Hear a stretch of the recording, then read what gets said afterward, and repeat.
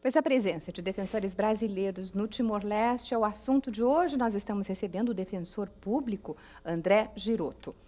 Doutor André, uh, o senhor falou há pouco tempo no, no, bloco anterior a questão da violência doméstica, né? Que isso é um assunto, a principalmente a violência contra a mulher, é, é, isso é no mundo inteiro.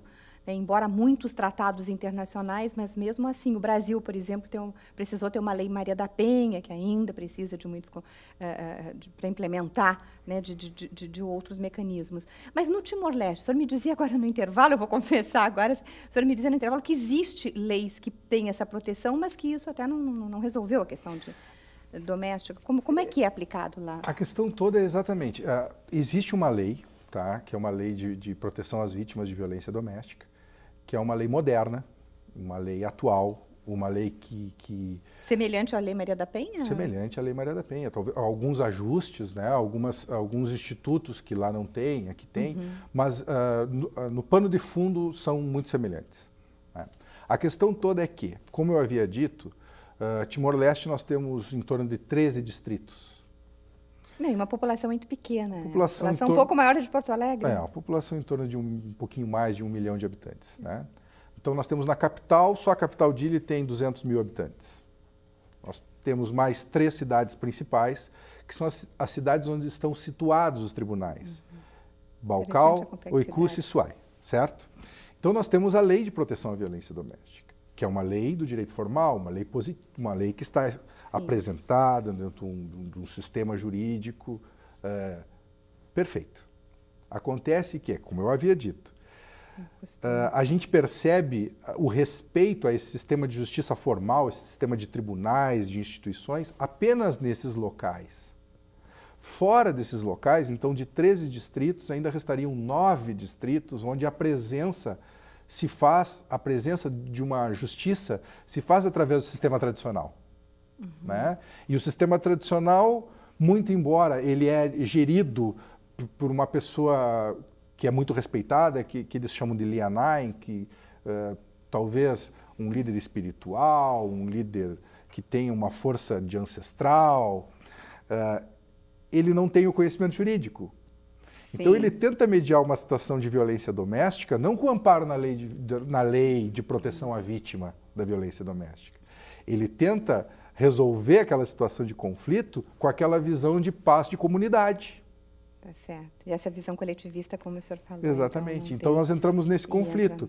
Então, muito embora exista uma lei, ela é aplicável de forma tranquila e perfeita mas naquelas cidades onde a comunidade já tomou ciência dos seus próprios direitos, onde ela já está mais acostumada a conviver uhum. com o sistema de justiça formal. Certo. Esta é a chave do negócio. Existem muitas prisões em. São duas unidades prisionais no país todo. É a prisão de Gleno, que tem em torno de 50 presos, e a prisão, uma prisão que fica localizada em Dili, que tem em torno de 400, 450 presos. Já é grande. E, tem, e, e, e, os processos se desenvolvem rapidamente? Por exemplo, num caso mais grave, num, principalmente na área criminal, num crime mais grave, ele ele, ele se processa mais rapidamente que a nossa justiça? Hum, eu não diria. Eu, eu, eu, acho que, sim, pela minha experiência que eu, que eu passei ao longo desse ano, não. Hum. Né? Os processos lá têm um trâmite bem mais lento do que daqui. Por quê? Isso eu explico. Uh, Timor uh, cometeu, ao meu ver, um, um pequeno equívoco quanto, quanto à formação do seu sistema de justiça. O sistema de justiça é amparado em leis. Então, nós estamos dentro de um, uh, analisando um país localizado na Ásia, né? tudo bem, ex-colônia de Portugal, mas localizado na Ásia, com uma estrutura cultural própria. Uma influência. Com uma... Só que o que, que aconteceu? uh, o parlamento de Timor, na edição das suas leis, ele fez um copia e cola da legislação de Portugal. E muitas vezes um copia e cola uh, retirando alguns elementos da legislação original que acabaram por quebrar uma estrutura claro. de, de, justiça.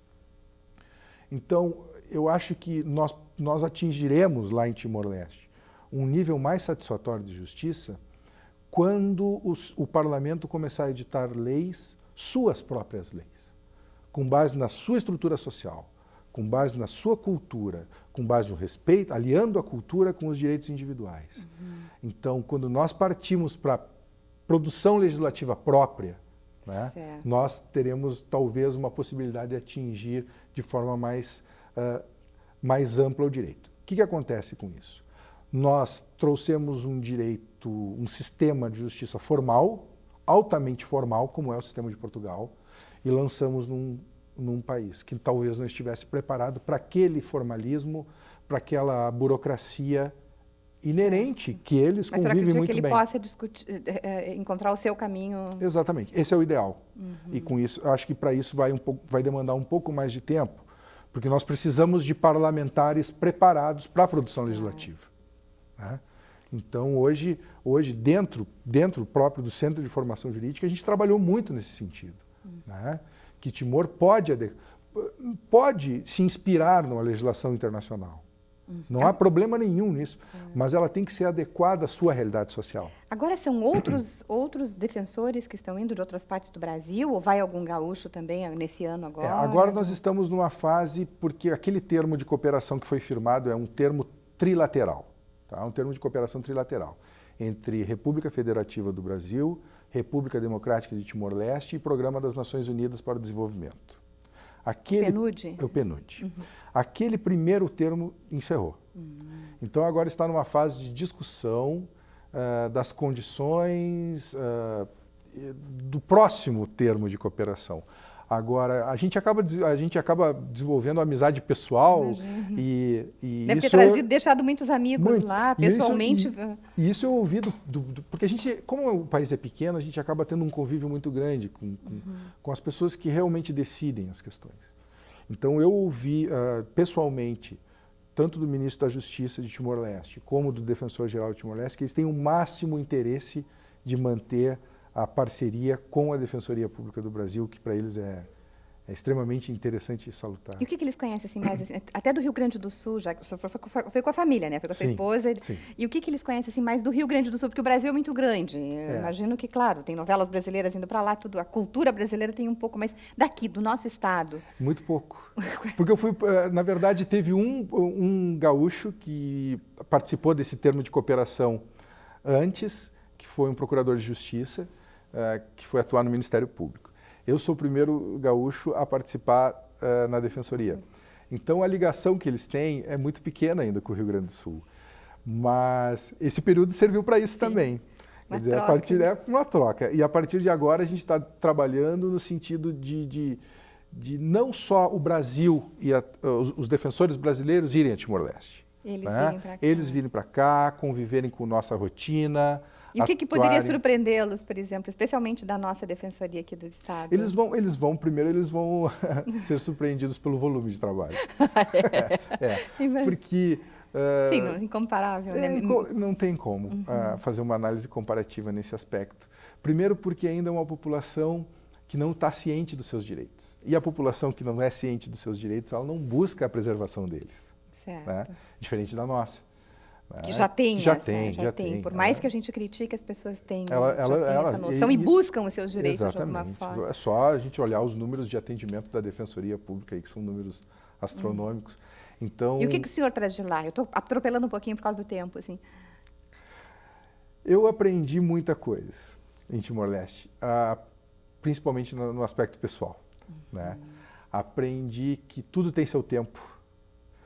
Aprendi que muito embora uh, a gente acredite e queira o bem, a gente acredita nas nossas verdades, mas muitas vezes as nossas verdades não são as melhores verdades.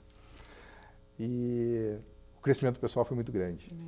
Então, isso eu ouvi uh, com todas essas letras do Defensor Geral. Um dia que eu apresentei um projeto de, de, de, de organização da Defensoria e ele olhou para mim e disse assim: Ah, André, é perfeito né? Tá muito bem, mas eu não tenho como isso como implementar isso aqui agora, aqui. Então ele vai ficar comigo, um dia a gente vai fazer. Olha. Mas eu não tenho como fazer agora. Tudo tem seu tempo. e aquilo gerava uma angústia. Eu, imagino, né, a gente quer imagino, fazer tudo claro, para o período que está para poder. É, período curto e quer produzir o máximo. E, e, e ele me disse: calma, calma. Uh, isso pode não ser bom agora. Se eu implementar agora, eu não vou conseguir uh, sustentar. Uhum. Então, quem sabe daqui um, dois, três, cinco anos. Então, isso eu mudei muito. Eu acho que tudo tem seu tempo e que se é para chegar no melhor, a gente tem que aguardar um pouquinho. Tá certo. Doutora André Giroto, defensor público, muito obrigada pela vinda hoje aqui mais uma vez. Parabéns por tudo que aconteceu. Eu tenho certeza que se uma viagem já enriquece tanta vida da gente, a estada num, num, país como tão distante, né, e vivendo suas leis, seus processos, deve ser muito mais interessante ainda. Sem dúvida. E pode ter certeza que uh, a ideia de levar uh, a, nossa, a nossa visão para lá é a mesma com a, que a gente traz um pouquinho de Timor-Leste no coração da gente. É uma troca, né? E agradeço profundamente a oportunidade. Não. Falaremos mais outras vezes, com certeza. Obrigada mais uma vez. Obrigada a você pela sua audiência essa noite. Lhe desejamos, então, uma boa noite. Até amanhã.